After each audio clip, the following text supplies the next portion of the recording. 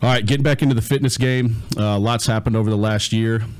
Uh, very fortunate to meet um, my boy Zac here. Zac just moved here from Mexico. He's in the States now. We're actually getting him ready for, well, it was the Toronto Pro. Yep. And now we're shooting for Mexico Super Show. Mexico Super Show. Tell me a little bit about what's going on with the Mexico Super Show. What do we got going?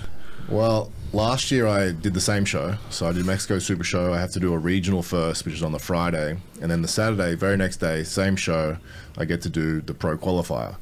So because I was living in Mexico, um, I signed up for the NPC as a Mexican resident. Um, therefore, I couldn't compete in a regional show here in the USA. So they said that I had to go back, do my regional show there. So I'm like, it just makes sense to do that show again. And also, I think it's probably a good idea because they know me. The judges know me there. The show knows me. So I came second in the pro qualifier. So like, I'm right there. So hopefully this year with some training with you, and then well, the diet's always good. I know how to get shredded. I think this year is going to be the year that I turn pro. For sure. I, uh, already firmly believe that, bro. You already have a, a, pro body. Everything I've done over the years, everybody that I've already worked with, dude, you're, you're there. So literally, we have to show up and win the fucking show, man. That's where we're at. Yep. Um, so, yeah, Zac moved here, um, what, three months ago? Yeah. Three, three months, months ago. Um, uh, as a lot of people know, I've been coaching for several years. I work with a lot of high level athletes. Brought Zac in, man. We've been killing it together. We've been training hard. I've been introducing some new training styles, man. As far as all the training going from previous years, how's everything going right now with all the training? For me, like my training, I guess, style for the last 10 years has kind of been the same. Like I trialed new exercise, I trialed kind of new modalities, but I think to strip it back and go back to the basics and learn how to properly engage the muscle has been what's you know most beneficial from training with you. You know watching you know certain people on youtube like mike van wyck who we're going to be lucky enough to train with you know next week has also influenced you know the way i train. And i think it's it's showing a really good result. Like i'm getting much better contraction. I feel like i'm growing really fast. Um, and i enjoy it too because you're not just slanging and banging. Mm-hmm. like i see so many people just throwing weight around and it's like i used to be that guy Right. You know, so. I think we all used to be that guy because back in the days, man, we. What's really cool and, and and where where I'm at now, and like you say, we got Mike coming down here. We're going to learn a lot from him. Mm-hmm. We come from an old school hardcore bodybuilding background. Yeah. In those days, man, it was literally the Ronnie Coleman's, the Dorian Yates, and yeah. what did these guys do, man? They packed on serious amounts of load, and we're throwing this weight around like it was crazy. I will say though, Dorian Yates, in my opinion, from all his videos, because I used to watch him, he really did target the more controlled movements yeah. with heavyweight. Yeah. You get Ronnie, that dude was just, just on another level. Around, yeah. He's just on but, another level. But I'm not Ronnie or fucking right. We're not Dorian, fucking Ronnie right? Coleman, right? And, and Van Wyck says that all the time. Right. He's just like you know, so many people you know contrast his training style to like you know these guys and it's like you're not these guys you're not no i just love the fact that i don't have to lift as much weight to get the same result, if not better. For sure. You know? And also, too, with that being said, you also reduce the risk of injury. Right. I was going to say the longevity now is so much better. I don't even feel close to being injured anytime I train. I don't have any niggles, like, you know, touch wood, but, you know, my joints feel fantastic and I'm moving like 40% less weight. Yeah. It's amazing. So, to touch on that topic, uh, everybody, well, let's say majority of the people are all about how we can move weight. Mm-hmm. Well, we want to understand the internal side of the weightlifting process. So, yeah. what can we do to understand contraction?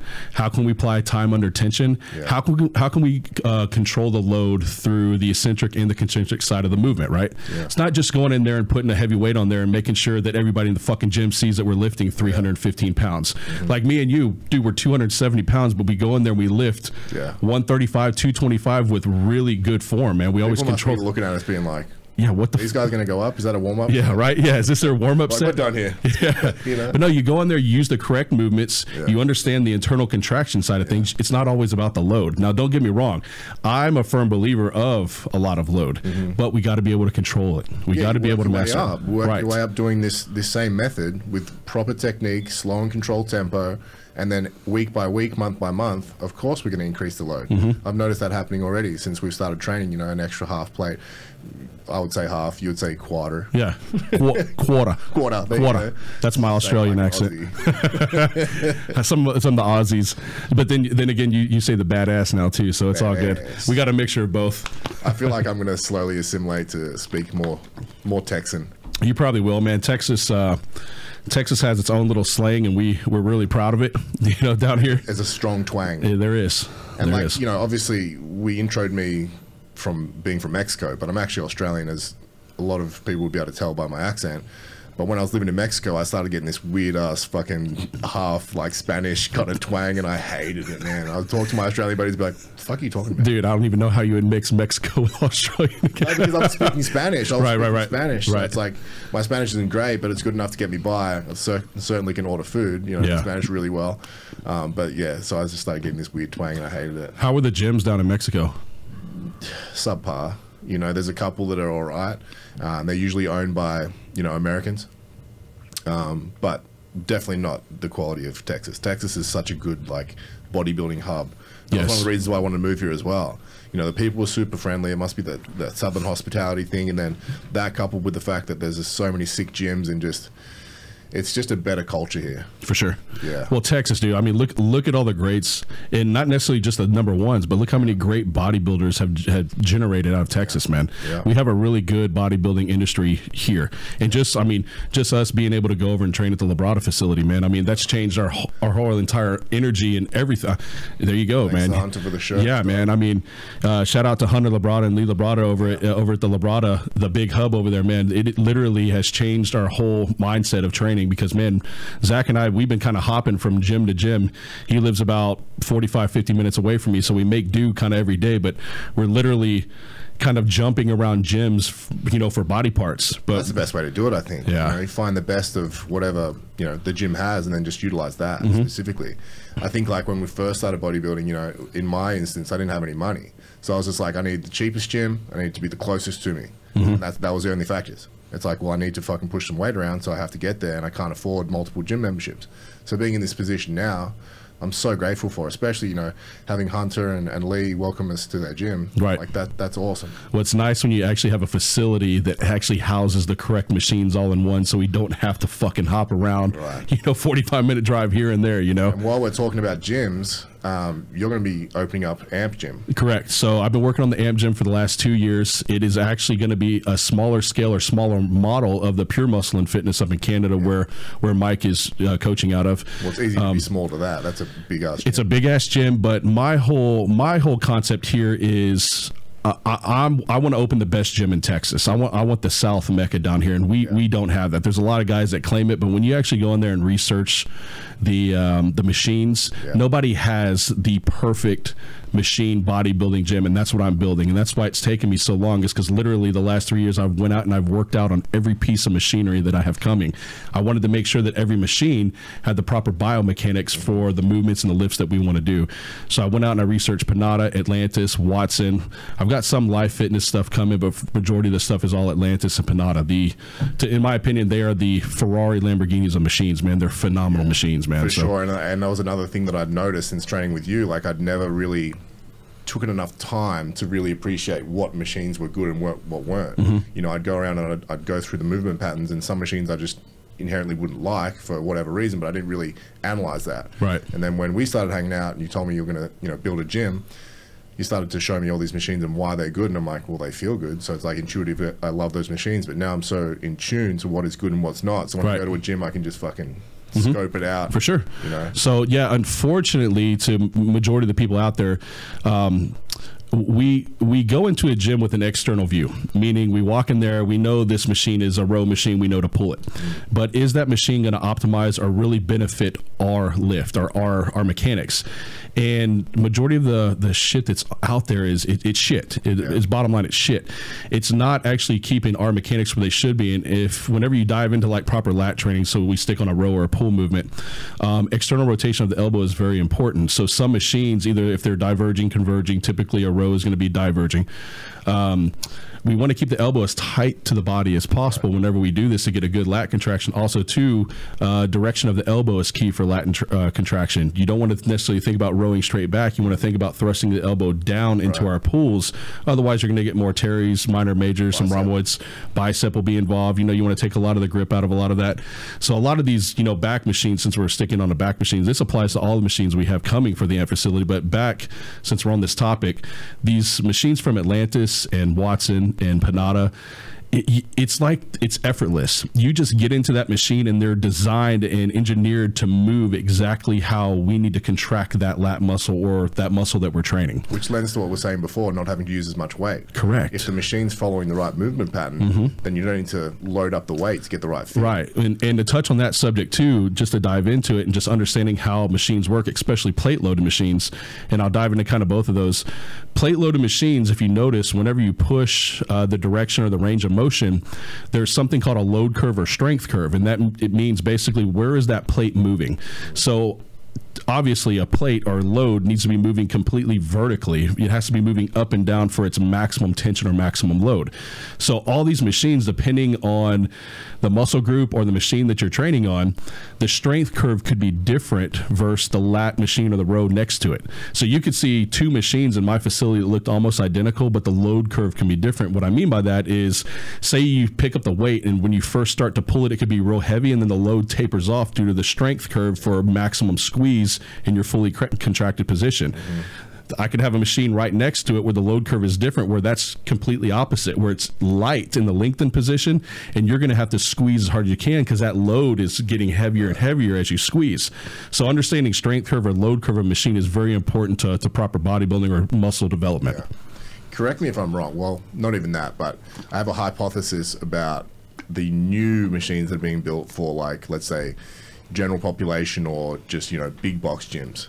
Like I, I feel like they're designed for the user not to get injured because I feel like they're not getting the right, you know, movement patterns and they're just very rigid in their movement and, and the way they operate. I just feel like I can never get a good squeeze on like those, you know, big box gyms.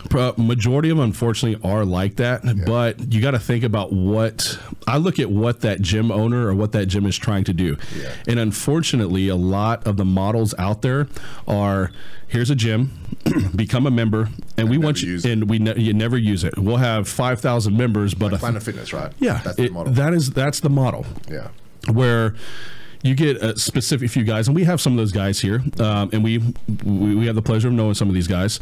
We actually take the time out there and go and do their research on proper machines. But when we get into that or dive into that, then you have to make sure your marketing is correct because people need to understand why they're coming to that facility for those. But yeah, yeah, to really answer your question, man, a lot of the shit is just mass produced as a row machine or a lat pull or a chest press to fill up a gym to create members. And I think that also reflects reflects the price point of the gym.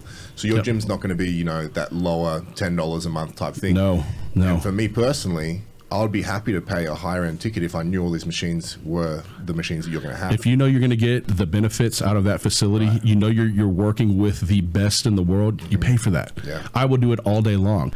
Also, too, um, just understanding the, the, whole gym industry and stuff like that.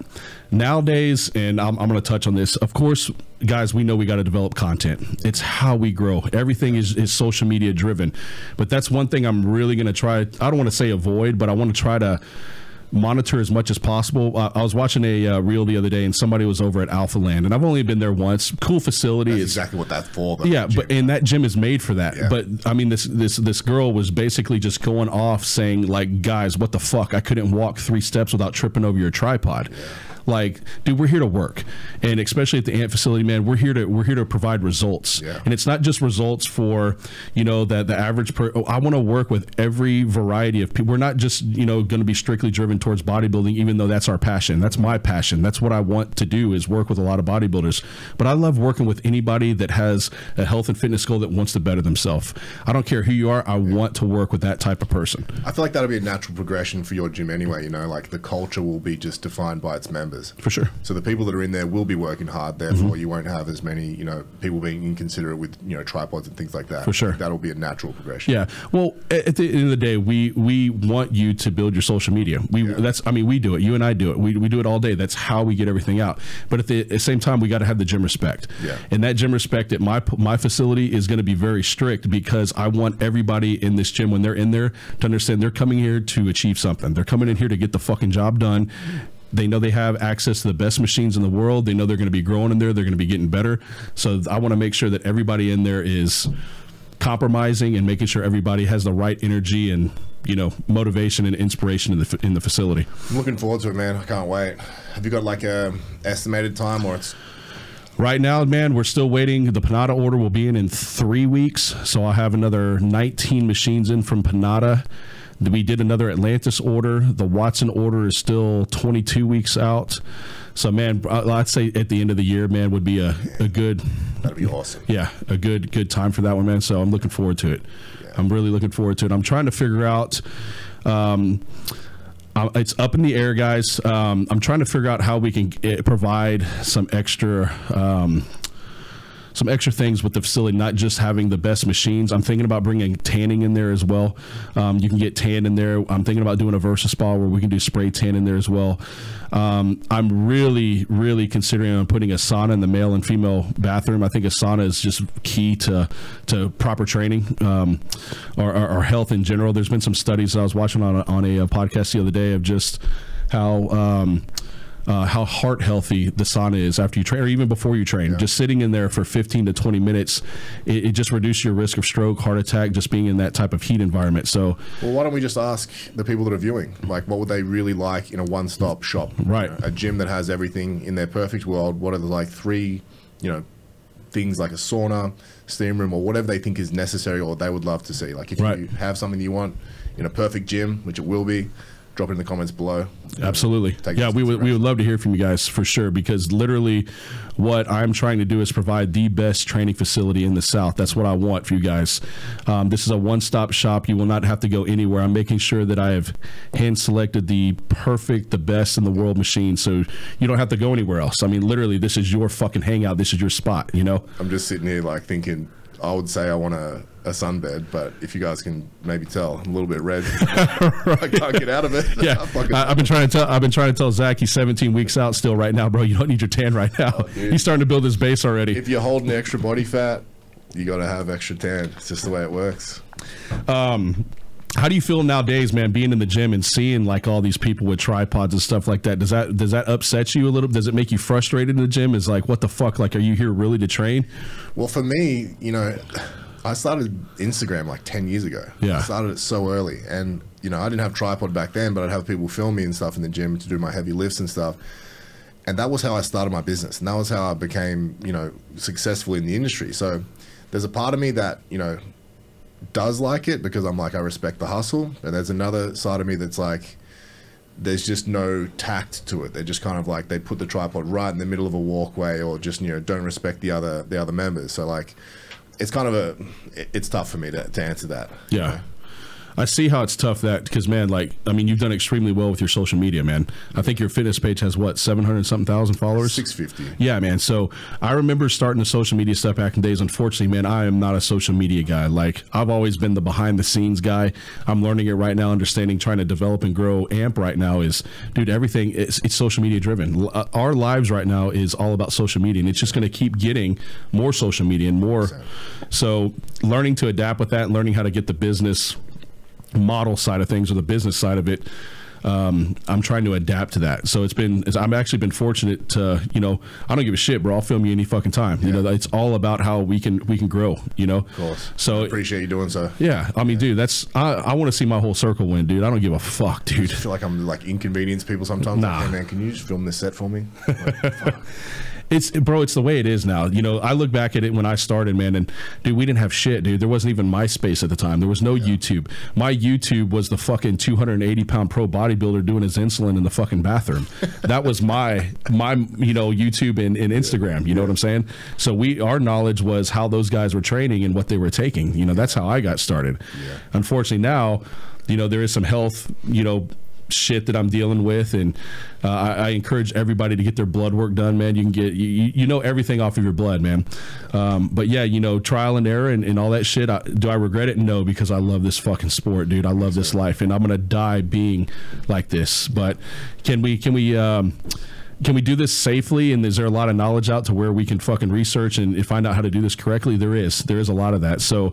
Um, I do take, you know, the TRT stuff. I've been on that for a while. I've come off of a lot of my gear. I actually haven't even ran a cycle, like I would say a, a real cycle, Cycle, yeah. in probably a decade, man, oh, where, where I was stacking like massive amounts of shit and doing fucking a gram of testosterone a week. But at the same time, I was 300 pounds, barely wiped my fucking ass. I feel attacked. right. milligrams of test a week. yeah, you know, like, like, I mean, I used and, and once again, this was still at the time where it's like nobody really was out out talking about this shit. Now I can on my phone and hey, man, you need to take your test, your training, your fucking. It's like, god damn, that's just like everybody talks about it now. Well, that's another topic in itself. You know, like through my progression in my career, at the start, it was such a taboo subject that no one wanted to talk about, Mm-hmm. and that's where this whole fake natty thing came from. People pretending that they're natural when they're not. And like I've always been transparent about it. Sometimes when people ask me on my post whether I was taking steroids, I just avoid it at the start of my career because I thought it was going to affect my sponsorships. Right. But nowadays, you know, it's I just don't care. Mm-hmm. It's like, yeah, I use tests. Yes, I use fucking other compounds when I'm prepping for a show. How else do you think that I'm going to Right. look in the best shape? Right. And that was a decision that I made ten years ago. I've been doing steroids for ten years now. But each to their own. I don't care if you're natural. I don't care if you're on steroids. Like, I just think that the people that are natural should just give a fuck less. Like, Right. why, why are they just so proud about it? No one cares. I, nobody really, ca- nobody gives a fuck. and and I'm gonna tell you this right now, and I don't give a fuck what people say or comment on this. There is no fucking magic steroid out there that you can take and get fucking big. You have to show up every day. You have to put the fucking work in. Now, does it optimize and make you feel like a fucking Hulk in the gym? 100%. 100%. But dude, that's just going to make you gain muscle. And another thing too, a lot of now with what I'm taking, it's all about recovery. I've uh, back in the days it was all about how hard can I fucking work out. I'm in the gym for two, three hours, dude. We're in and out of the gym 45 minutes, hour tops. If it's a hardcore leg day, just because we're resting fucking a lot longer, we might be in there an hour and a half, maybe, maybe. But at the end of the day, it's all about recovery, man. And that's the difference where me starting about uh, or starting into the bodybuilding game. I was killing it nonstop, just driving all this fucking weight, lifting, ret- just stupid, man. Just trying to. I remember uh, my buddy's dad. Unfortunately, he passed away. Dude, we'd have six plates on a fucking barbell, shrugging that shit. And I remember right when I got, yeah, yeah, just sitting there, and I mean, like every time face. we'd shrug, yeah, dude, every time we'd shrug it, it, it fucking hit the rack a little bit, and it's just almost like a Bouncy off. we didn't give a fuck, dude. We were just in there to move weight, and he was he was five, probably five, eight, nine, So two, seven. about yeah. I mean, we're moving it this big, but we didn't care. We just wanted to move fucking weight in the gym. You know, we felt like Felt good doing it, We too. felt like gods. You know what I'm saying? Like it was fucking awesome, man. Yeah. But um, the recovery, man, like that's what I have learned for um, it, it was as far as being an efficient athlete is all about recovery, man. How fast can we recover to get back in there and tear that fucking muscle back down? That's the first thing I notice once I get off cycle. If I finish a show and then I go into like a health phase, which is usually just low level TRT and HCG, I'll notice my recovery is the is the thing I notice most because I'll still try and train as heavy as I am in a prep when I get off because I think I, I believe that that's the best way to maintain the muscle that you've achieved. Mm-hmm. So for me, if I'm you know getting off all this sauce that I've been on for for the show, that's the first thing I notice. The recovery is just nowhere near as good. Right, right. Nowhere near. Yeah, that soreness level, man, that lactic acid buildup starts lasting like five, maybe six days. It's like, God damn. Those like, days we've been doing, bro, I would have been sore for five, six Right. days. But now we're recovering after three. and that's what like, you know it's cool to touch on that topic so i like like we're talking about i'm on like a we call it a trt but i'm on i'm on my testosterone right now and what i've been really loving are the peptides The- it's the best i've ever felt right now with these new peptides especially specifically for recovery, the ones you're using. Exactly. Mine are specifically for recovery. So right now, you know, for if people want to understand about training splits and how to actually train train the body efficiently, uh, Zac and I, we've actually changed our whole training style around to where we're shocking every muscle group two times a week now. Yeah.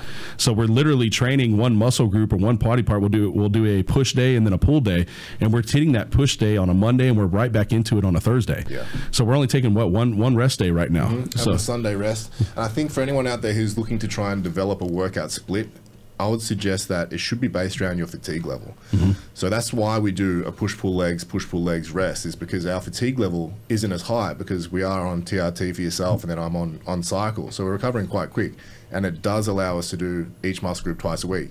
If you're a beginner, then maybe it might be best to do upper body rest day, lower body rest day, upper body rest day, lower body, because your fatigue level is not going. It's going to be through the roof. Like, Right.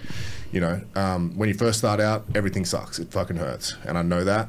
So if you're a beginner, it's not something that we suggest is to go straight into a push pull legs, push pull legs rest because you're going to be fucked. You will. You're going to be so sore. You will. And, and to touch on that subject, I was just actually talking to one of my clients. Uh, she just started with me. Um, there is no way for us as a coach or anybody that you are going to say you're with a trainer or coach, there's no way for us to gauge your lactic acid or soreness level. No matter how we train you. Now, my goal is to get in there and always give you a good workout. My goal is not to kill you or destroy you. That's retarded. If, if, if coaches are doing that, they, they, they don't know what the fuck they're doing. But a lot of my, like, I call it my on ramp program whenever I have like a first time athlete, or even if it was somebody that used to train back in days, but say they took a year off or whatever, work came up, life came up, whatever. I always come into an on ramp program where we do a lot of body weight movements first. If you can't manipulate your own body weight first, why in the fuck am I going to put load on you? Yeah. It's stupid, man. Like, that's a higher risk of injury. So, majority of the time, whenever you do take a long period of time off, like Zac is saying, your your recovery rate needs to be, you know, three, four days or something like that, or even a, a, a on day, off day. On day, off day would be a good split as well too, because typically when you come in and shock a muscle for, uh, say you've been off for a long period of time, it's going to take you two, three, maybe four days of recovery just in that one muscle before we can break it back down. So.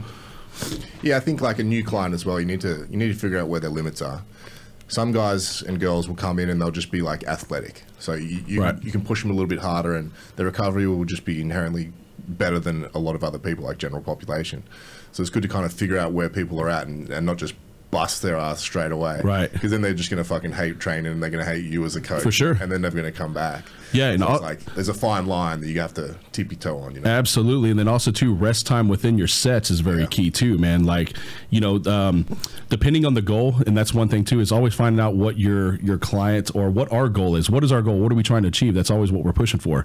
That really determines your rest periods. Yeah. Rest time is so important in between sets, man. If it's 45 seconds, you know, 60 seconds, 90 seconds, all of that matters determining or depending on the lift. Yeah. So it's very important. I think um, as an advanced lifter, um, like us and like many people that be watching this, I think the best strategy for myself in terms of rest periods is based on the the air that I'm getting in. If I'm super gas, I'm not going to get into another set. For sure. You know, I wait until I've got my heart rate back to a kind of a normal mean Mm-hmm. average, and then I'll go again. It's not about you know looking at my fucking phone and being like, okay, 90 seconds is up, Right, right. back into it. Right. We usually have you know two hours to train if we need it, and it doesn't take that long very often. So it's like if I'm ready to go, I'm ready to go. I sure. just try and be very intuitive with that. Yeah, and also too, uh, this actually happened to us the other day.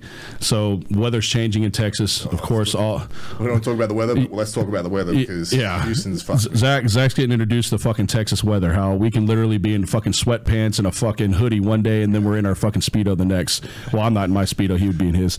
But uh, Shout out to Speedos. but uh nah man so we were we've been training and literally the week before we're like we're on our game man my my, my breathing's good my cardio feels good my strength is through the fucking roof dude you last uh, well shit i guess it was maybe wednesday when we hit legs uh, they had the doors open at the gym the heat and the humidity was coming in and it it, it killed me it almost was like what the fuck i thought i was doing good here It's the humidity for sure. Like that's the that's the main catalyst. But also right now, apparently, as you Texans have told me, it's the pollen in the air. The pollen All is the horrible. Allergies, man. Like I'm allergic to grass pollen, as I told you the other day, and it's it's smashing me, and Yeah. it's also smashing Natasha too. It's it's bad, bro. Every time this year, I mean, literally, you'll walk outside. If you got a black car, it'll turn yellow.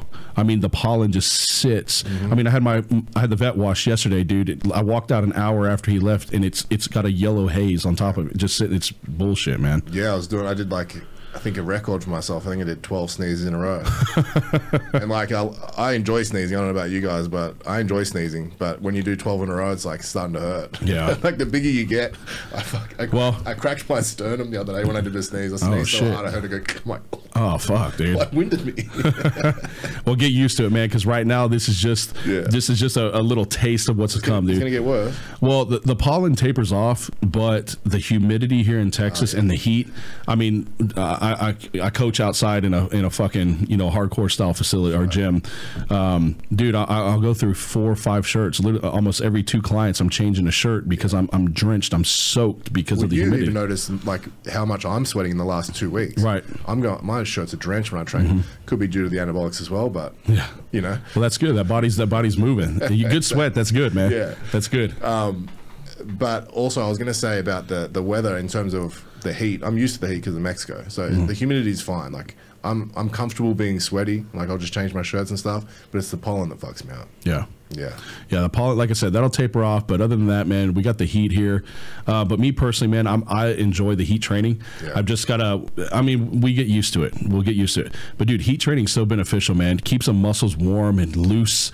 Dude, I've been to Thailand 20 times. Because of being in Australia, it's a nine hour direct, right? So, you know, in the last 10 years, I've been there 20 times. And I go there for training camps. I'll go there for like two or three weeks and I'll come back just shredded as fuck. Like, anabolics are, you know, over the counter as well at pharmacy. So it's, it's the best place to go for a bodybuilder for sure. Yeah. Food is cheap, accommodation's cheap. So I just bounce out there, come back three weeks later, dry, shredded, because the weather's hot as fuck there too. Right.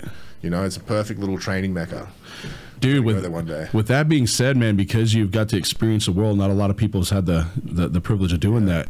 You know, as far as like being in the fitness industry and being in bodybuilding in general, um, how, how has like the atmospheres for you like has some of them affected you has some of them been like wow this is the ideal training like space for me to be versus say like so my question is like how is it versus texas mexico australia thailand how is it around the world with different training facilities and training environments Australia, like where I grew up, is kind of it's good for gyms because there are you know plenty of good gyms like World Gym. On do they have World Gym here or no?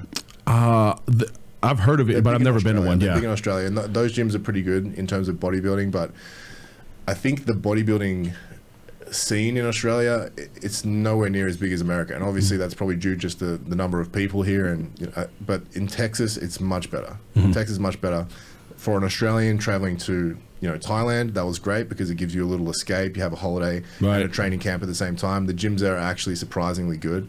Like, more so now. Like, back when I started going 10 years ago, there were sweat boxes, right? And I mm-hmm. love that. Mm-hmm. But at the same time, if you're not drinking your water, you're going to be dehydrated as fuck. Right. and. But I would say I would say Houston is probably the best place for me to be right now. You know, when I'm taking my bodybuilding so seriously, I think this is the best place for me to be. the environment's good and what's cool man is um Houston's great. Like Houston, we've got a good good crew of, of a bodybuilding, Yeah. say, crew here.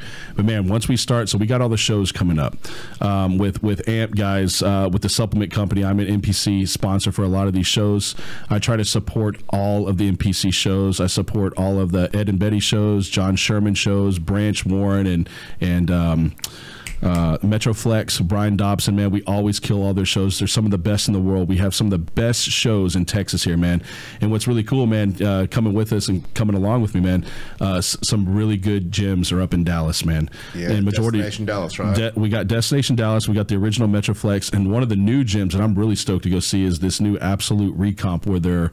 Um, I've seen Hani train in Chris Bumstead and Oh, is that what it's Hadi. Yeah, yeah, and they have a lot of the new Panatta stuff over there. So I'm, I'm I'm looking forward. I heard it's like a 35 or 40 thousand square foot gym. It's yeah, it's it's stupid big. So Looking yeah, forward to those trips. I, sure. I can't wait to get up there and just show you the different training environments, dude. Metroflex, just to be in the environment where Ronnie Coleman, you know. Train there with Brian, Brian pushing his ass. Just to know you go in there and grab a fucking dumbbell that he touched, dude. It's a different type of fucking motivation, dude. Like it literally the the environment there, and then one of my guys, Aaron, dude, he's one of the hardest training motherfuckers I've ever worked out with, man. And his intensity levels through the roof. So when we get to the original Metroflex, work out for sure. yeah, Brian, we're coming up there, bro. We'll be up there. Uh, Branch's show, what um, whatever his new show is here in a couple weeks, man. So we'll, we'll go check that one out for sure. Looking forward to it all. Is going to be a really big year, and I'm just super happy to be bodybuilding again. Like, had a few months off at the end of last year. I lost a lot of size, and like I just kind of I had another business venture that I was putting too much time into. Um, not doing that anymore, and I'm just I'm happy to be back doing what I love doing. So, bodybuilding is it for this year. We're gonna fucking smash it. We're gonna smash it, bro. We're gonna kill it, dude. You already, dude. You already have a pro physique. You're gonna turn pro this year, no matter what, man. We just got to get you back on that stage. We got to kill this posing. Uh, if I had to, say, dude, you have the best team around you right now. Just the privilege of being over at Labrada, having Hunter and Lee, uh, Logan Franklin, man. Franklin, uh, yeah. we need to get Logan on the show here with us, man. We'll talk some more bodybuilding stuff, but just having him here as far as being one of the best posers in the world, man. I, I to date, he is one of the best I've ever seen, man. He, he's phenomenal. So just having him in the corner helping you work with it, dude. There's no reason why you're not going pro this year. It's a good recipe. Yep. Got everything. You know, dotting the dotting the i's and crossing the t's. For sure, for sure. All right, man. Uh, I say we close this one up, man. We, we covered a lot of good topics today. Stay tuned, guys. If you like this, uh, or actually, man, if you want to tune in and, and give us some comments and feedback, what you want us to talk about, we're going to be covering a lot of uh, bodybuilding topics. We're going to have some awesome guests on our show.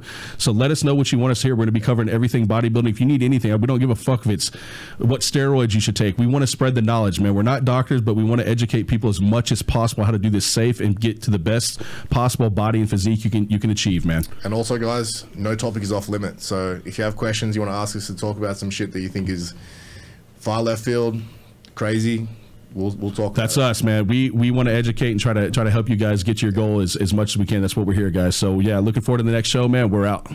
See ya.